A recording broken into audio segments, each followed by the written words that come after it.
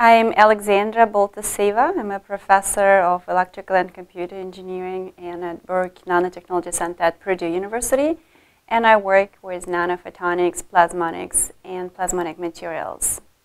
So what we do in our research, we are looking into a novel approach in the area of nanophotonics that deals with nanoscale metallic particles and metallic structures.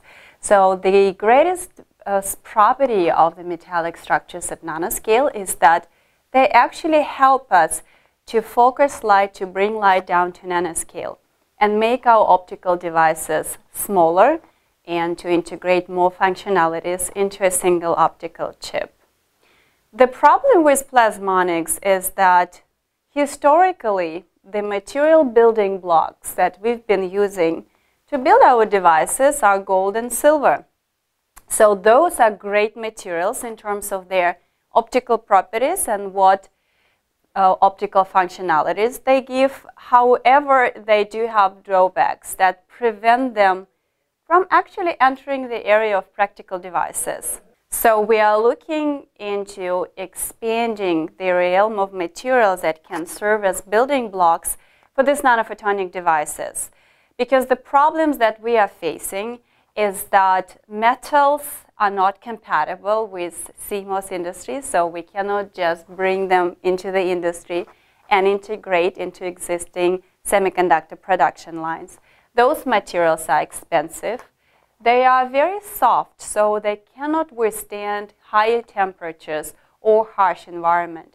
And if we think of any applications that are relevant for nowadays, uh, technologies such as energy conversion or harsh environment sensors or anything which is heat assisted, we need robust materials to do that. And one of the solutions is to look into new classes of ceramic materials that do show properties that are similar to metals in the optical wavelength region, but they bring a lot of advantages. So they would be extremely stable, uh, mechanically, chemically, thermally stable. And they're also compatible with biomedical technologies and CMOS processing lines. So we're also looking into other types of materials that can greatly expand the realm of materials we are using for nanophotonics and plasmonics, and those are complex oxides such as transparent conducting oxides, indium tin oxide, doped zinc oxide. So these are great materials that were somehow overlooked in the area of metal nano-optics, and we are trying to bring them in and study their exciting optical properties in their optical and the near infrared telecommunication window range. They do have very high transparency, so they don't absorb a lot of light, which is one of the major problems in this field of research. They do allow us to tailor or adjust their properties so they, we can design our material to fit a specific need of our practical design application. And they also can provide a tool for dynamic switching or controlling the optical function of the device by electrical or optical means. The problem, as I see it, is really in the gap between the communities. So there is a community of plasmonics or nanophotonics, and there is a, a community of material scientists.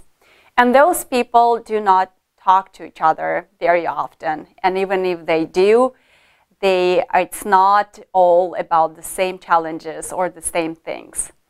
So as I see my research field is about uh, bridging this gap and actually bringing the expertise and methodology that people have developed in material science when they are optimizing and finding new materials into photonics. Because we know what we need for our structures so that we can actually ask and talk to material scientists what are the material classes that could provide this best functionality so one of the applications that um, I can name would be connected to energy. Well, energy is everywhere. It's one of our grand challenges, renewable sources of energy. Solar thermal photovoltaics is one of the most promising approaches that actually promises us very high conversion efficiencies from, let's say, sun energy or sunlight into electricity. So what it does, in contrast to standard photovoltaic or solar cell, it, it actually absorbs a very broad spectrum of a sunlight. And then you're using a clever design photonic structures to re-emit it selectively in a very narrow spectral range so that after that, it's effectively absorbed by photovoltaic cell. The problem and the challenge in this area is not to design the structures. We can do that. There are plenty of designs in photonics of how to make broadband absorber and a narrow band emitter. The problems is in materials because when you absorb a lot of light, things heat up. And they being heat up to a very high temperature, 1500 C or even higher. So even if a material is thermally stable, like tungsten, there would still be oxidation and some of the unwanted deformation and changes in the optical properties that would be detrimental to the performance. So by finding materials, as we found, such as transition metal nitrides, so example would be titanium nitride or zirconium nitride, that have a highest melting temperature, it's close to 3000 degrees C, we can actually design those structures that would not deform so that it would have detrimental effect on their performance. So in this case, materials are really enabling technologies. So we will not move forward in um, enhancing the ways to harvest energy without looking into materials that are stable at high temperatures. The field is extremely exciting, and I think the beauty of this field is that it potentially impacts so many different areas. So I already mentioned that we can impact integrated optical circuitry. We can de design subwavelength photodetectors.